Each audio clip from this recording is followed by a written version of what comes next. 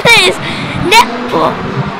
Um, Australia versus Caitlin Bassett gets the goal and she shoots. She's going to win the World Cup. What a sensational play from two of the strongest teams in this year's Netball World Cup. And I've got to say, what about the commentary as well? Great job by our host commentators inside the Fox Sports commentary box. Don't forget you can catch all the action of the 2015 Netball World Cup on Fox Sports. And we'll be back with more after this.